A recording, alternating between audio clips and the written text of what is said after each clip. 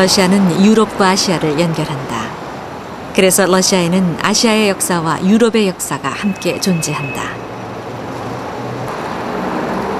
그 러시아의 동쪽 끝은 한반도와 이어져 있고 동쪽 해안을 따라 늘어선 도시를 연해주 또는 극동이라는 이름으로 불러왔다. 연해주의 중심 도시 하바롭스크의 도심 한복판. 그런데 거기서 한 조선 여인의 얼굴이 발견된다.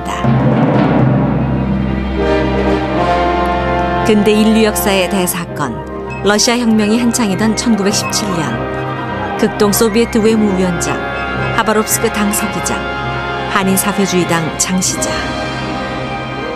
그의 이름은 알렉산드라 페트로브나 김 스탄케비치. 그런데 그는 김씨 성을 가진 조선 사람, 바로 조선의 여자였다.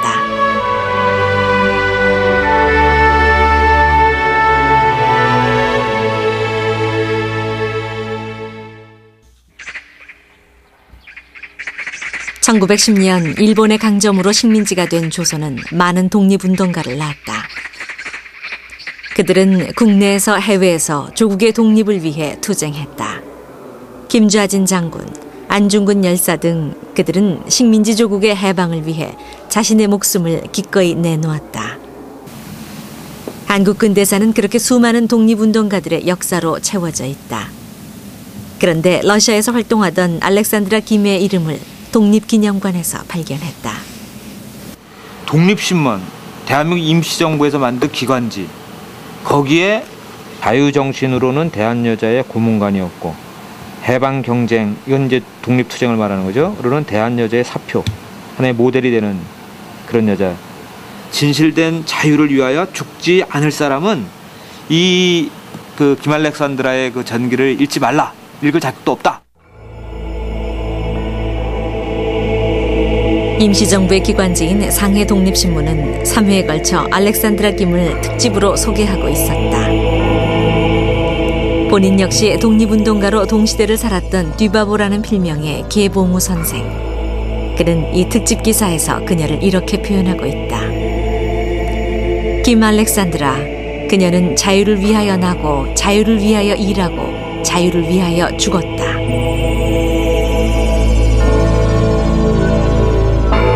그리고 또 하나의 기록. 그녀와 동시대를 살았던 혁명 동지이자 독립운동가였던 이인섭 선생은 자신의 회고록에 그녀의 추모글을 남겼다. 알렉산드라 김은 조국의 해방을 위해선 일본뿐만 아니라 미영불 제국주의를 모두 물리쳐야 한다고 말했다. 그것은 사회주의적 사상에 기초하고 있다. 이러한 정세인식은 우리가 그녀를 미처 알지 못하게 하는 요인이 됐다. 김 알렉산드라가 그동안 그 우리 학계라든가 일반 학계는 물론이려니와 일반 대중들에게 알려지지 못했던 그런 이유 중에 하나는 역시 그 1945년 이후에 그 남과 북이 서로 갈라졌다고 하는 점, 남북 분단이 그 제일 큰 이유라고 볼 수가 있습니다. 말하자면 그 김학생들 활동했던 주요한 근거지 근거지가 활동 무대가 그 러시아 지역이기 때문에 이 러시아가 소련으로 공산주의 국가 되면서 역시 그 우리 대한민국 남한 사회와는 서로 어, 교류가 없었고 그렇기 때문에 1992년 그 소련 붕괴 전까지도 그 전까지는 역시 그 우리가 그 김일락산드라고 하는 사람의 존재를 알 수가 없었죠. 우리에겐 잊혀졌던 여인 알렉산드라 페트로브나 김 스탄케비치 격동의 세월에 치열한 삶을 살았던 불꽃 같은 여자 그녀는 누구인가?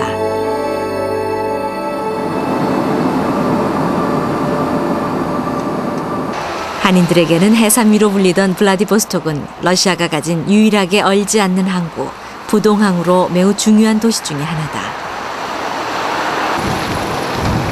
시내 한복판에 서 있는 혁명탑이 말해주듯 블라디보스톡은 러시아 혁명 당시 극동 지역의 중심 도시였다.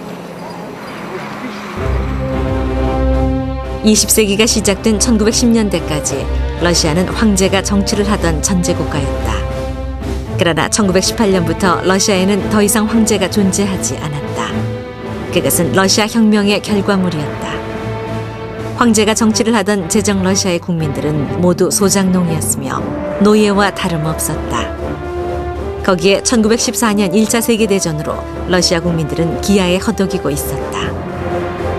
그때 레닌이 등장했다. 레닌은 일하는 자들이 세상의 주인이 되어야 한다고 주장했고 그의 연설은 러시아 국민들에게 새로운 세상이 도래한다는 희망을 갖게 했다. 모스크바에서 시작된 러시아 혁명은 시베리아 벌판을 넘어 9,000km가 넘는 동쪽 끝 블라디보스토크까지 옮겨왔다. 그렇게 러시아 혁명은 시작됐다. 그 격동의 현장, 한인 최초의 공산주의자로 기록된 알렉산드라 페트로브나 김스탄케비치가 있었다. 구소련의 국가 원수 깔리니는 그녀를 영웅이라 했고 러시아 역사는 그녀를 위대한 여성 혁명가로 기록하고 있다.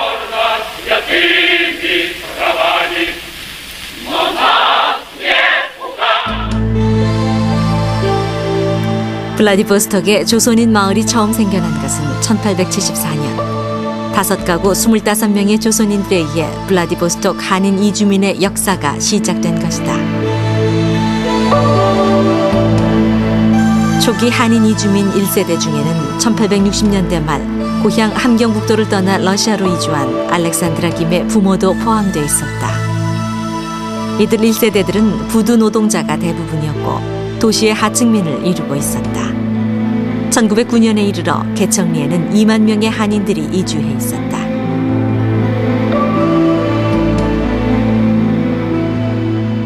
국내 처음으로 알렉산드라를 소개한 사람은 극동의 독립운동사를 연구해온 박환 교수로 2002년 2월 그는 취재팀과 동행했다. 에, 100년에 가까운 세월이 흘렀습니다. 그런데 유일하게 지금 이 개청리 거리에 지금 남아있는 음, 집이 한 채 있습니다. 그는 뭐 이 거리에 지금 저쪽으로 보시면은 저 좌측에 에, 건물 2층 건물이 하나 있습니다. 어, 2층 건물이 바로 그 당시의 어떤 모습을 예, 그대로 간직하고 보여주는 유일한 건물이 되겠습니다. 또한 그 1905년을 전후해서 김 알렉산드라 스탄게비치가 예, 블라디보스톡에서 학교를 다니고 민족의식을 형성할 시기에 살았던 곳이 바로 지금 현재 이 에, 블라디보스톡 에, 개청리 바로 이곳이었습니다. 그러나 개청리에서 그녀를 기억하는 한인은 없었다. 그렇다면 블라디보스톡에서 살았다고 알려진 그녀의 흔적은 어디서 찾을 수 있을 것인가? 우리는 그것을 극동 문서 보관소에서 찾을 수 있었다. 블라디보스톡시 140년간의 방대한 문서 자료와 구소련 시절 연해주의 극비 문서가 보관돼 있는 극동 문서 보관소. 그러나 알렉산드라 김의 개인 기록을 찾아내기란 쉬운 일이 아니었다.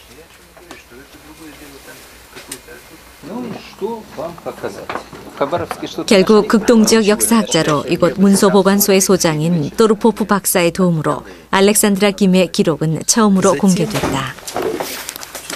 또르포프 소장이 찾아낸 그녀의 기록은 알렉산드라 김이 블라디보스톡에서 살았던 시절 관공서에 등록된 그녀의 흔적이었다. У них 9월 6일 날 рождается следующий сын Вячеслав.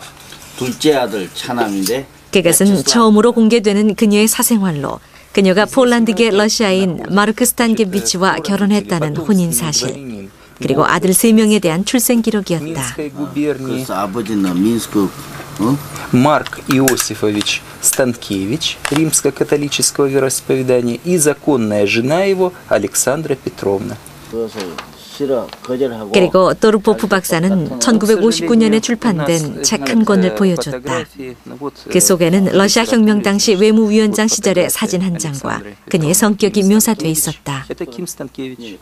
По воспоминаниям, по воспоминаниям, значит, э, вот опять же вс- э, участников э, революционного движения на Дальнем Востоке, ну, она себя вела очень мужественно, ей э, п- предлагали, э, то есть, э, уйти э, из этого вагона смерти, э, так как э, по национальности она кореянка, и вроде бы с русскими ее ничего не связывало, но она категорически отказалась и вместе вот со своими товарищами была расстреляна. Просто учитывая, что здесь уже им расселиться... 혁명에 가담하기 전 알렉산드라 김은 블라디보스톡시에서 여학교를 다녔다고 알려져 있다. 지금은 중국어 전문 중학교로 변해 있지만 그녀가 학교를 다녔다는 1902년경 블라디보스톡시의 여학교는 이것이 유일했다.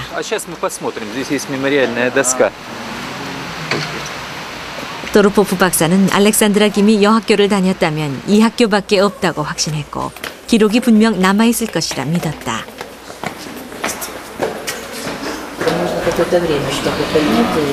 지금 찾기 힘들다요. 어디 있는지. У нас одно время стенды были прямо в коридорах, ну Где потом они, это 옥도실에 다 убрали 이렇게 все 해놓는데 это. Мгм. 다 치워버렸죠. 헝클어져가지고. 그녀에 관한 흔적은 학교에 남아있지 않았다.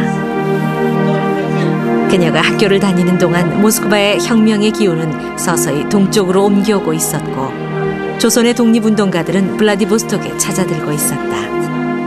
조선의 성을 가진 그녀는 그때 무슨 생각을 하고 있었을까?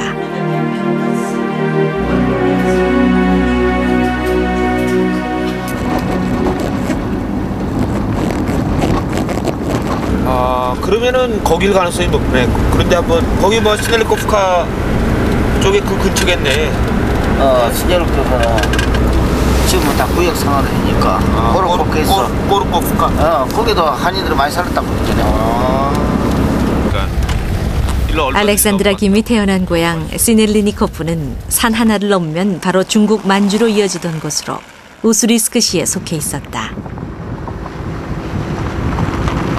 раньше было. Да, тут корейцы жили, да? Жили тут корейцы, жили. 아 한국인들이 여기 살았군요. корейцы много жили раньше. Много, еще, да. до революции Э, еще. Фазенды были там у них. Э, О, 집도 많이 있었고. да. 예. 어, 집. Фазенды были вот там. еще дальше, да? Да, вот дальше, нет, да? недалеко, да. 어, 이 달래꽃. Ну, возле речки так оно. 강 있는데 어디 이렇게 강 주변을 따라서 Они э, приезжали. рисом занимались.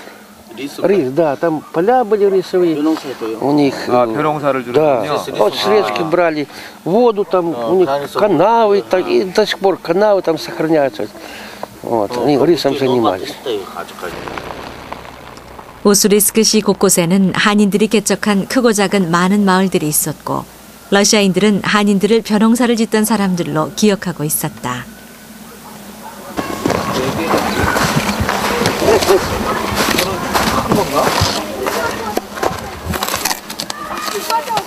뭐 찾으셨어요? 아니 맷돌. 아 맷돌이에요? 있잖아. 맷돌 4개. 일단 까미? 네. 돌이라는 거죠? 네. 됐다. 이쇼. 됐다. Это колонка. Это колонка. Корейский? Нет. Русский? Это корейский. 이 아이들은 한인을 본 적이 없지만 아직 러시아 우스리스크에는 농사를 짓던 한인들의 흔적이 떡살무늬 맷돌로 남아 있었다.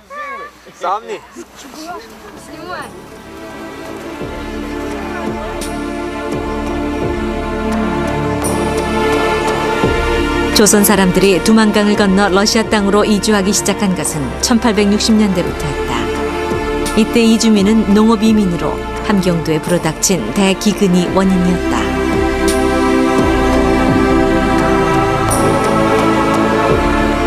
알렉산드라 김의 아버지 김두서 역시 함경북도 경흥에서 두만강을 넘어 러시아 땅으로 이주했으며 우스리스크 시의 시넬리니코프에 정착했다.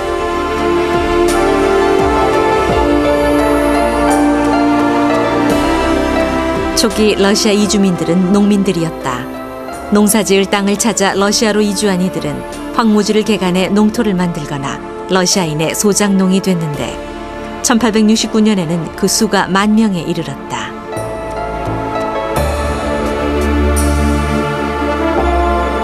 이들은 농업뿐만 아니라 러시아에 값싼 노동력을 제공하는 노동자로 일하기도 했다. 1910년 노동 이민에 이어 항일 운동가들의 정치 망명까지 합해져 러시아 이주민의 수는 5만 명으로 급증한다.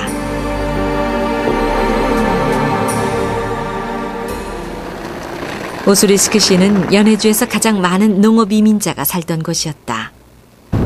А тут что, у вас совхоз было, да? Да, Еще одно возьмем, что ли? никого не будем брать. Кладбище идем, да? Да, да, да. 아 그리고 거기 있을 텐데. 그 Корховку, вот здесь, за этой деревней, где вы заезжали в деревню, И туда идет дорога на ту маленькую деревню, что под сопкой стоит. Там поднимается и на ту верхнюю трассу. Ну я знаю, я, я ездил там. 알렉산드라 김이 태어나고 자라난 한인 이주민 마을은 이미 흔적조차 없었다. 그나마 무덤이 있었다고 하지만 사방은 차가운 흰 눈이 덮여 있을 뿐이었다. 여기서 우리 그 선조들의 그 이주 일대 네 그렇습니다. 쭉 있는데요.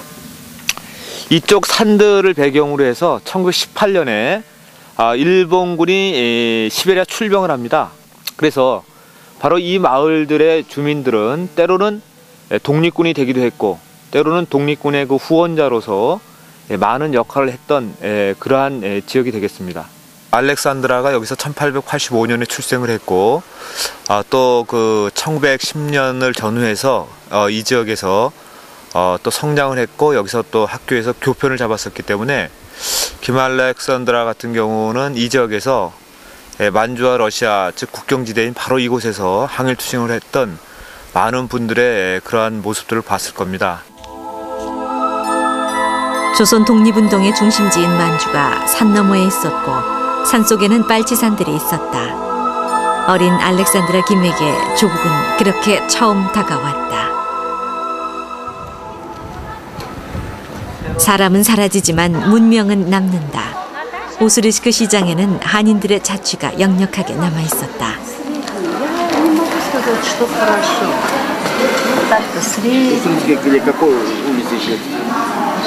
김 알렉산드라 페트로나 스탄게비치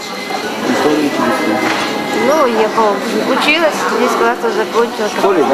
아 학교에서 배우셨어요? 김 알렉산드라 스탄게비치에 대해서? 그럼 그분에 대해서 혹시 기억나는 거 있으세요?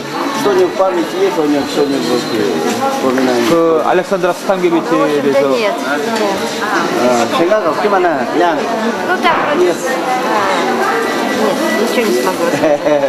아 한번 들어 학교 다닐 때 배우시긴 했고요. 김 알렉산드라 페트로브나 스탄게비치 들어보셨어요? 들어는 봤지요. 보지는 못했지요 예. 예. 아, 한인 마을이 사라지듯 우스리스크시 그녀의 고향에서 알렉산드라 김의 이름은 서서히 사라지고 있었다. 연해주의 블라디보스톡 그리고 우스리스크시 어떻게 이렇게 흔적도 없이 한인 이주민의 역사는 사라져버린 것일까? 알렉산드라 김의 흔적을 찾기 위해서는 중앙아시아를 횡단해야 했다.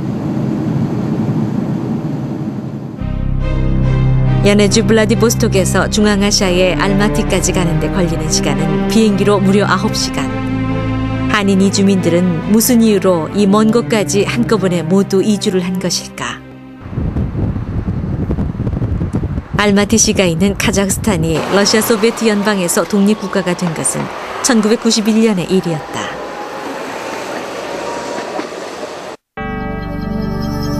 한인들이 이곳까지 이주한 것은 1937년 스탈린의 강제 이주 명령 때문이었다. 일제치하의 조선인들이 일본 첩자 노릇을 할지 모른다는 것이 이유였다. 명령에 불복하는 지식인들은 숙청당하고 농민들은 기차 화물칸에 실려 짐승처럼 호송됐다. 시베리아 벌판을 기차로 한 달이 넘게 달리는 동안 사람들은 추위와 배고픔에 죽어갔고 가족들은. 그리고 살아남은 자들이 도착한 곳은 황무지와 다름없는 허허벌판. 그러나 그들은 살아남았다. 알렉산드라 김의 후손들 역시 이곳으로 강제 이주됐다. 러시아 역사를 전공한 김주환 씨는 카자흐스탄에서 그녀의 흔적을 찾는 과정에 동행했다. 저희 저희는 예. 한국에서 왔고요. 주소를 옛날 주소를 갖고 있기는 하지만 아주 아드레스 그거를 갖고 가봐야 이제 거의 소용이 없지 않나 싶습니다. 그 발라다 그 전화했는데 그 회장님이 있거든요. 그 그린 협회 회장님이 있는데요. 그냥 그 회장님이 모른다고 했는데요. 얘기했어요. 그 어, 오가시르게 호, 어, 호송자요. 예, 산길 호송자라고 얘기했는데요. 그러나 퇴치 못했어요. 러시아 쪽으로 먼저. 그러나 알렉산드라 김의 후손을 찾는 것은 불가능한 일이었다. 네, 안녕하세요. 네. А, ну это я не знаю же про Санкевича. Это именно История откуда мы знаем? Если честно, да. Просто слышали по истории. Да.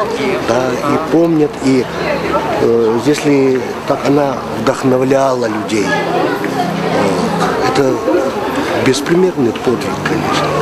То, что она как революционер, подпольщица. 알렉산드라 김의 후손을 찾기는 어려웠다. 그러나 1918년 그녀와 함께 한인사회당을 창설한 독립운동가 이동휘 선생의 후손이 알마티 시내 살고 있었다.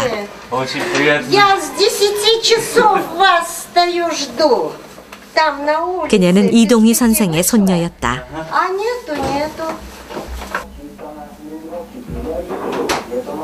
1995년 대한민국 건국 훈장을 받은 이동휘 선생은 조선 사람으로는 처음으로 레닌의 접견을 받았고 대한민국 임시정부의 초대 국무총리를 지낸 독립운동가다.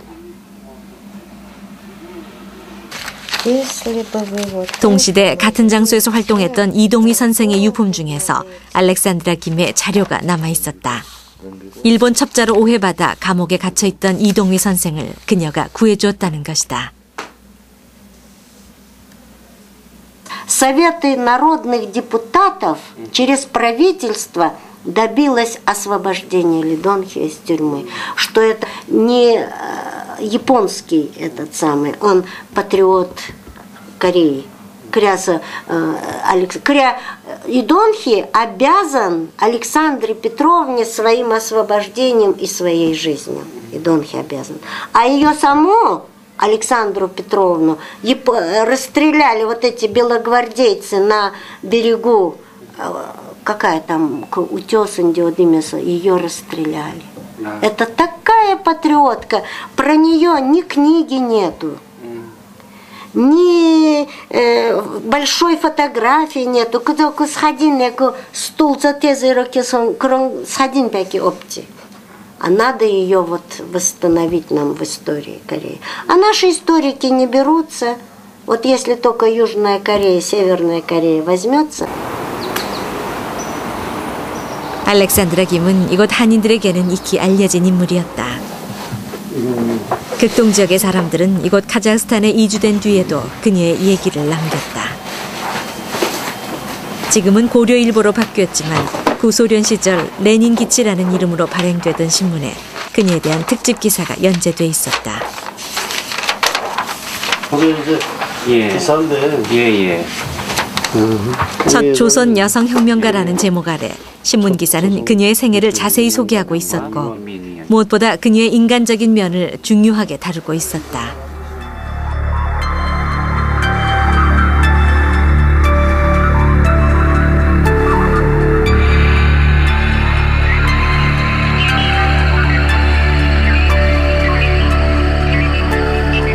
극작가 우가이가 남긴 알렉산드라 김에 대한 희곡은 러시아의 한인들에게 그녀가 어떤 존재인지를 말해주고 있다.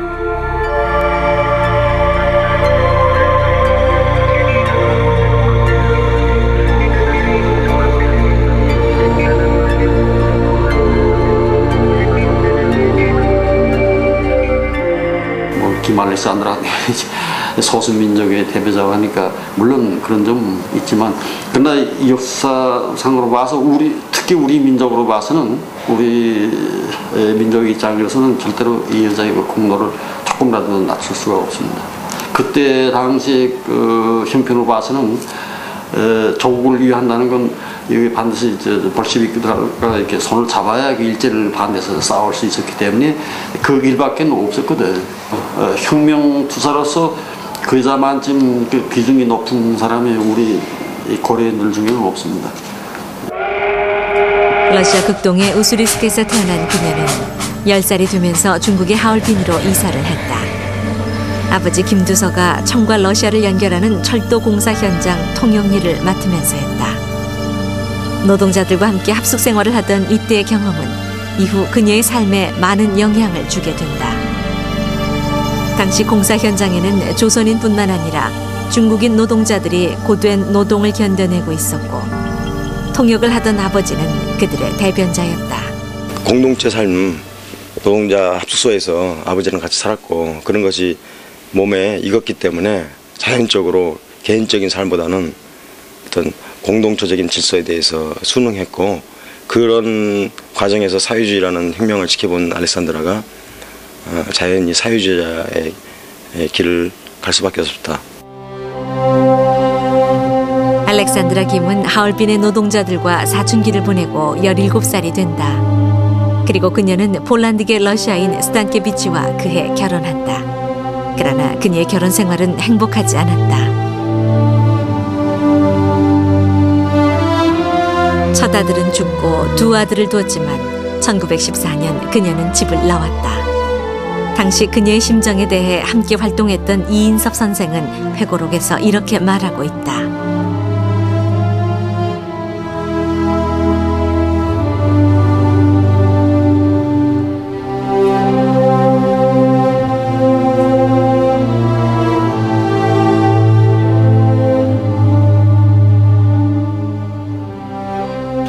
아무래도 김 알렉산더는 당시에 여성으로서뿐만 아니라 당시 한인으로 조선인으로 볼 때도 상당히 선진적인 급진적인 사상의 소유자였습니다. 특히 남녀의 문제에 있어서도 그렇고 가정의 문제에 있어서도 상당히 앞서갔던 그런 여성이라고 볼 수가 있는데 그런 종래의 전통적인 그런 가정관계 남편과의 관계라든가 가족을 돌봐야 된다고 하는 여성으로서 결혼을 하면은 그럼 남편에게 충실하고 가정을 돌봐야 된다고 그런 그런 말하면 구태의연한 전통적인 그런 사고 방식을 훨씬 뛰어넘는 그런 인물이었다는 거죠. 근데 그런 것들이 아마 아무래도 전통적인 그런 사고 방식에 머물러 있었던 그 남편과의 관계에 있어서 문제가 되지 않았겠는가. 그녀에게 결혼은 낯선 길이었다. 어린 시절 그녀는 독립운동가들의 삶과 죽음을 받고 결혼하기 전까지 그녀는 하얼빈역에서 노동자들과 함께했다.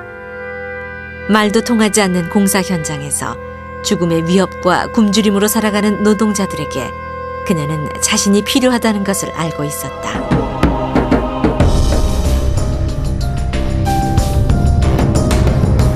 우랄산맥 벌목장의 수천의 노동자들이 그녀를 필요로 하고 있었고 그것은 피할 수 없는 길이었다. Я люблю тебя, но общественные дела считаю превыше, чем семейные. Оставляю двоих детей на ваше воспитание. Прошу их воспитать достойными. 우랄의 노동자들에게 가는 길은 험난한 여정이었다. 극동에서 출발한 기차는 시베리아 벌판을 가로질러 두 달 동안 밤낮 없이 달려야 겨우 베름에 도착할 수 있었다.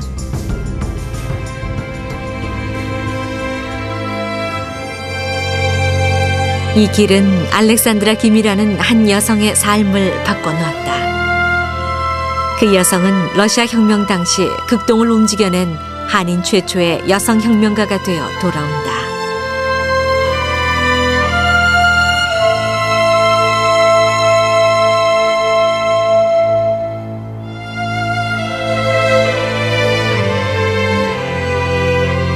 그녀가 베름에 도착했을 때 1차 세계대전에 참전한 러시아는 패전을 거듭하고 있었다. 젊은이들은 전쟁터에서 죽어갔고 전쟁에 필요한 군수물자는 극동의 조선인이나 중국의 노동자들에 의해 만들어지고 있었다. 알렉산드라 김이 우랄에 도착한 것은 바로 그때였다. 그녀가 가장 먼저 한 일은 노동자들을 대신해 러시아 관리로부터 임금을 받아내는 일이었다. 중국어와 러시아어, 조선어가 가능했던 그녀만이 할 수 있는 일이었다. Но можно сказать, что э, без таких специалистов, как она, обойтись было, наверное, просто невозможно, поскольку много было э, тогда рабочих и работниц приглашено э, с юга и востока страны, из Китая, из Кореи. Их здесь было очень немало. И общаться нужно было, естественно, языковой барьер был. Поэтому деятельность ее, конечно, была и в этом смысле чрезвычайно ценной.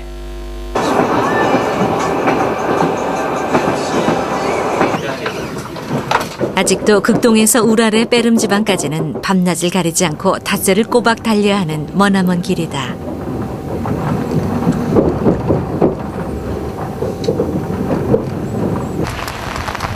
베름시는 조용한 마을이었다. 알렉산드라 김이 활동했던 당시 수천 명의 노동자들이 밀집해 있던 공장들은 이미 사라지고 없었다. 단지 곳곳에 보이는 오래된 나무집들과 버려진 목재들만이 과거 이곳이 벌목지대였음을 말해주고 있었다. 이게 보시다시피 이 전부 톱밥이거든요. 이게 톱밥이니까 이 지역에 커다란 그 나무 공장이 있었다는 건 확실하죠. 이게 전부 톱밥으로 채워져 있다는 거는 보통 이제 러시안들이 집을 질때 여기 흙으로 갖다 채우는데 이 톱밥이거든요. 이렇게 되면은 이 지역에 대단히 큰 그 나무 공장이 있었다는 거는 이제 이거로 증명이 될 수도 있겠어요. 알렉산드라 김은 우랄에서 3년 동안 노동자들과 함께했다. 그 시간 동안 그녀는 베름의 벌목장과 예카제린 부르크시를 왕복해야 했다. 그녀가 예카제린 부르크를 왕복하게 된 것은 우랄 지역 혁명 지도부가 이곳에 있었기 때문이다. Екатеринбург находится в Азии, а Пермь находится в Европе. Э, Поэтому Ким Станкевич, э, так как она работала и в Перми, и в Екатеринбурге, очень часто пересекала границу между Европой и Азией. Это говорит о том, что ее революционная работа охватывала очень большое пространство на территории России. двух частями света. 알렉산드라 김이 베름과 예카제린부르크를 왕복하면서 활동했다는 것은 그녀가 공식적으로 당의 지도를 받고 있었음을 의미한다.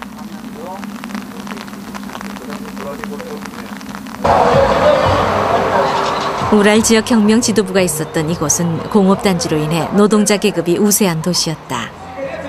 지금도 이곳은 일친을 비롯한 많은 정치 사상가가 배출되고 있어 영향력 있는 도시 중의 하나다.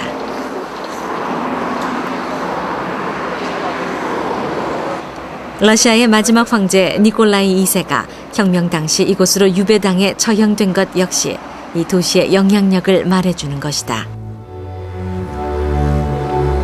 러시아 혁명은 니콜라이 2세로 상징되는 전제 정권을 무너뜨리는 것으로 시작됐다. 결국 니콜라이 2세가 예카제린부르크에서 처형됨으로써 러시아의 전제주의는 종지부를 찍게 된다. 1917년 10월 혁명 이후 러시아는 레닌에 의한 소련 소비에트 연방공화국이 된다. 예카제린 부르크 시는 러시아 혁명 후부터 지난 10년 전까지 스베르들로프 시로 불리워졌다. 그만큼 이 지역에서 그는 최고의 지도자였다. 그는 레닌, 트로츠키와 더불어 러시아 혁명의 3대 영웅으로 추앙받는 인물이다. 러시아 혁명 당시 알렉산드라 김이 우랄 지역의 노동자 동맹을 만들어낼 때 그녀는 스베르들로프의 지도를 받게 된다. 1917년 여름 우랄 지역에 온 지 3년 만에 그녀는 다시 극동으로 돌아가게 됐다. 그러나 이미 그녀는 3년 전 우랄에 도착했을 때의 알렉산드라 김이 아니었다. 스베르들로프는 그녀에게 극동 지역 외무위원장이라는 중책을 맡기게 된다. и думал о Дальнем Востоке. Возможно, он вспомнил, если был знаком, что есть такая кореянка, большевичка, в Екатеринбурге встречался и мог дать распоряжение делегатам, которые приезжали туда, о том, чтобы вот у вас есть такая грамотная и так далее, и так далее женщина, направьте ее на ее родину, туда на Дальний Восток, там кадров недостаточно, может быть. Нич, дальше вы сами будете все устанавливать, что-то знаете, что-то многое вот Хабаровске особенно, а также во Владивостоке, в музее, в архиве, вот от этого историка и от других краеведов можете узнать.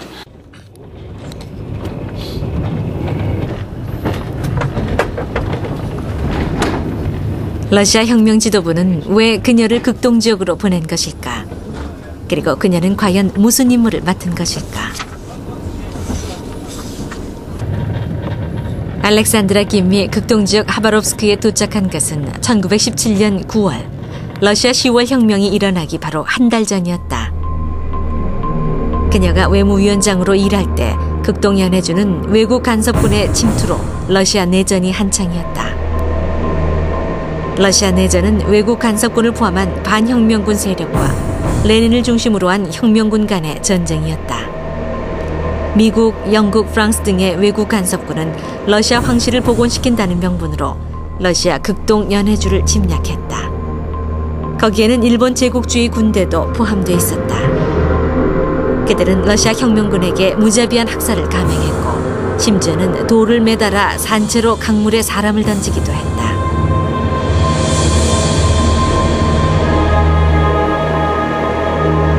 한때 하발롭스크 사람들은 알렉산드라 김 역시 그렇게 아무르강에 던져져 죽었다고 믿었다.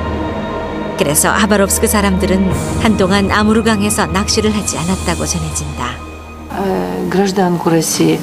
Естественно, вот ее участие в русской революции, оно уже э, очень символично. Прежде всего, наверное, в том, э, что именно это этот факт показывает, что революция в России, она была интернациональна. А революция в России была не только для россиян.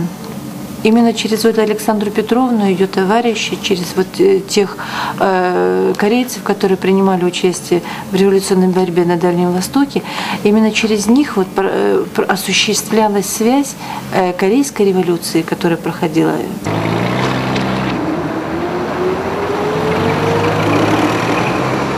하바롭스크 시에서 알렉산드라 김은 러시아 혁명을 상징하는 인물이다. 소수민족 중의 하나인 조선 여자가 혁명의 상징이 된 것은 그녀의 활동 때문이었다. 그녀는 러시아 혁명이 각각의 민족 해방 운동을 지원해야 한다고 했으며 그것이 러시아 혁명의 정신이라고 믿었다. 극동 지역 외무위원장이던 그녀는 하바롭스크를 혁명의 도시로 만들어냈다. 극동 지역을 대표하는 많은 혁명가들이 그녀가 있는 하바롭스크로 모여들었다. 그라스노쇼코프, 초대 소비에트 위원장인 게라시모프, 그리고 뽑코 등은 모두 그녀와 함께 활동했던 동지들이다. 그녀는 극동의 중심 인물이 됐고 조선 독립운동과 이어진다.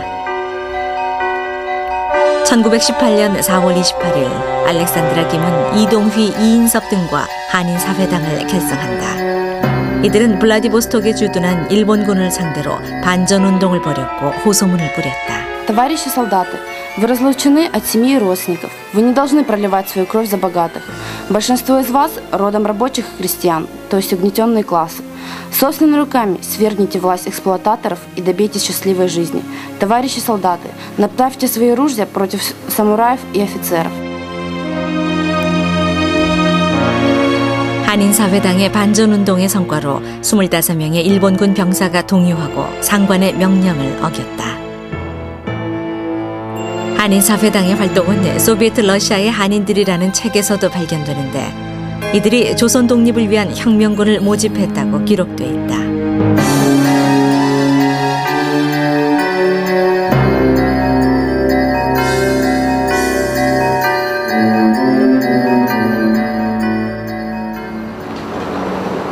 수교가 되자마자 러시아를 방문한 박환 교수는 하바롭스크에서 알렉산드라 김의 얼굴이 새겨진 이곳을 발견했다.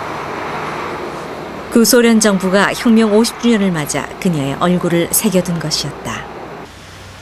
그리고 그 기념패에는 하바롭스크 시위원회 회원, 볼셰비키당 외무인민위원, 소비에트 당서기장이었던 알렉산드라 김스탄케비치가 이곳에서 진모를 봤다고 기념패를 남겨뒀다. 그러나 그녀를 기념해 보존되던 당시 건물은 허물어져 가고 있었다.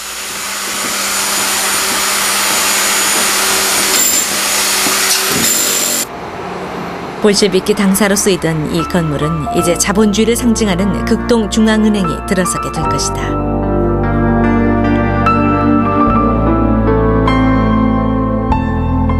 어쩌면 이제 다시는 그 기념표를 이곳에서 보지 못할지도 모를 일이다.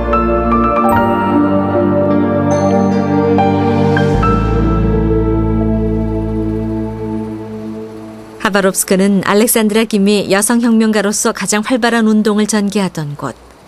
그녀의 기록들은 지역 박물관에 보관돼 있었다.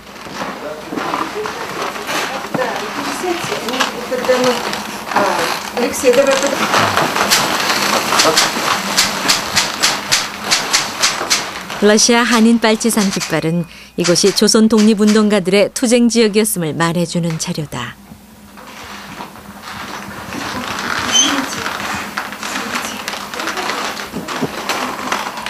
지역 박물관에는 알렉산드라 김에 관한 자료들이 소중하게 보관돼 있었다.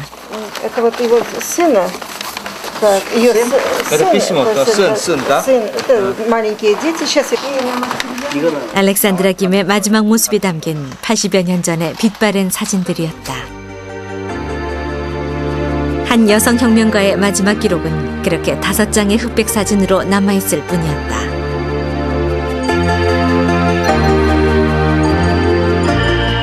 그녀를 기억해줄 후손들 역시 사진 속에서는 있지만 그들을 만날 길은 없다. Полная выписка о том, что Станкевич находилась э, в списке коммунистов Хабаровской организации, расстрелянных э, Калмыком. 그것은 그녀의 사망 기록이었다. 거기에는 확고한 의식이 있는 혁명가라는 기록과 함께 그녀의 죽음에 대한 새로운 사실을 말해주고 있었다. 그녀는 아무르강에서 죽은 것이 아니라 칼로 얼굴과 가슴이 난도질 당한 후 총살돼 죽음의 골짜기에 묻혔다는 것이었다. 그리고 하바롭스크 주재 일본 영사였던 다쿠치는 그녀의 죽음을 직접 확인하려 했으며 사망 증명서를 요구했다. 그녀는 그만큼 당시 일본을 위협하던 존재였다. 아 그리고 거기 있을 텐데 그 파롭스크 시내 지도에 그 내가 깜빡 내려요? 네. 알렉산드라 김은 아무르 강물 속에 있는 것이 아니었다. 지역 박물관에서 발견된 문서에 의하면 그녀는 이곳 죽음의 계곡에서 칼로 난자당한 뒤 총살당해 죽었으며 이 땅 어딘가에 묻혀 있었다. 걸작 죽음의 걸작이라고 예, 이 예. 명칭을 그리고 이곳을 에, 에, 그러네요. 어? оврагом смерти 죽음의 골짜기라고 이렇게 부른다.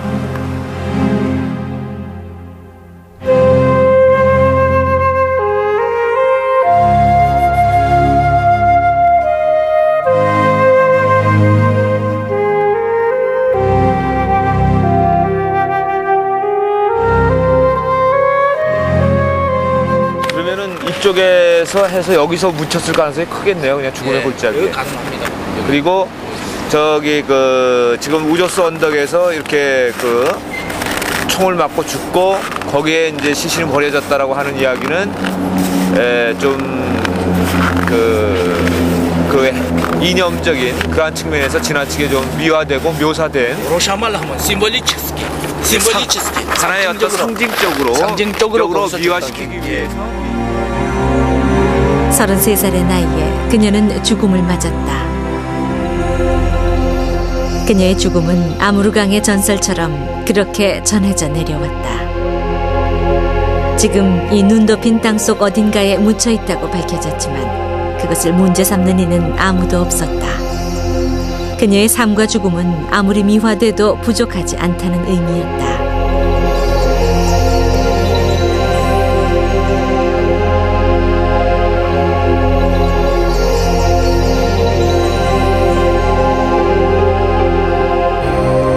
불꽃처럼 살다간 그녀의 죽음에 대한 전설은 그래서 아직 아무르강에 남아있다. 러시아의 고려인들에게는 그녀에 대한 전설이 또 한 가지 있다. 우주스 언덕에서 처형당하기 전 그녀가 여덟 발자국을 걸어가면서 조선 팔도의 이름을 하나씩 읊조렸다는 것이다. 고려인들은 모두 그렇게 믿고 있었다.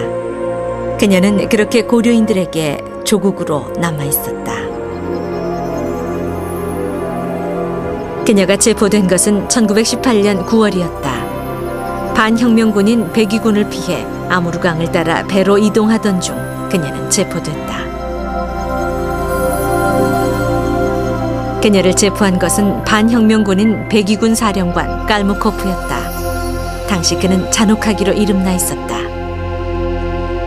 체포된 알렉산드라 김은 죽음의 열차에 실려 감옥으로 이송됐다. 감옥으로 옮겨진 그녀를 고문하던 반혁명군은 그녀를 회유했다. 그러나 그녀는 의연히 맞섰고 흔들리지 않았다. 그것이 그녀의 마지막이었다. Учитывая, что вы женщина, мы можем помочь вам. Только чистосердечное признание спасет вашу жизнь. Вы говорите, что я женщина и прощаете меня, но это будет оскорбление не только для меня, но для каждой женщины на земле. Все больше женщин будут участвовать наряду с мужчинами в этой благородной борьбе.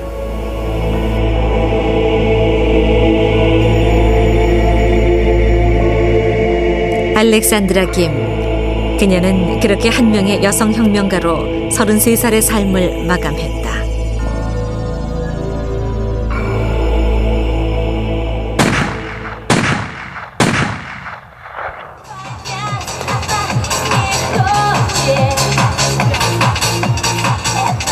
사람은 죽고 시대는 변한다.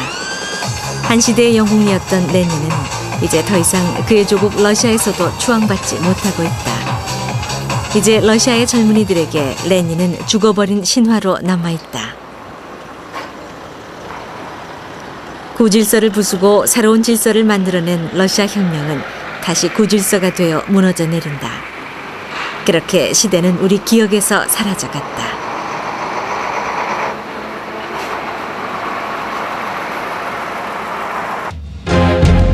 그러나 그 시대, 아무것도 자유롭지 않았던 시대. 알렉산드라 김은 자유를 위해 나고, 자유를 위하여 일하고, 자유를 위하여 죽었다.